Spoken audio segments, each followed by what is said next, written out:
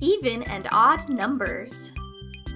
Numbers are great for counting things.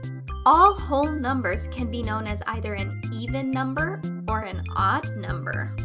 Even numbers are any whole number that can be divided by 2.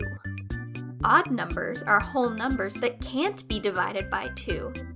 Some even numbers are 2, 4, 6, 8, 10, and 20.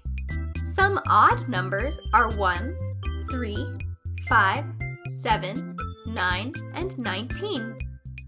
One way you can see if a number is even or odd is to try grouping it into twos. If there is one left over, then it is an odd number. If there are no extra numbers, then it is even. Let's try it. Is 15 an even number or an odd number?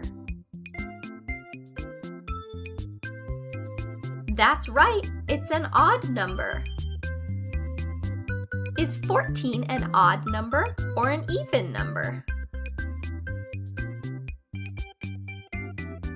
That's right, it's an even number. Let's try some harder ones. Is 26 an odd or an even number?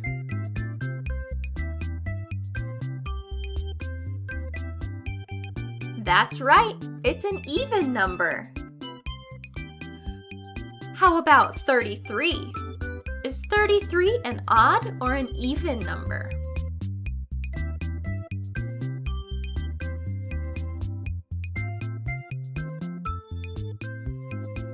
That's right, it is an odd number. You're getting pretty good at this. Try counting things at your house now. Are they even or odd numbers? Thanks for watching.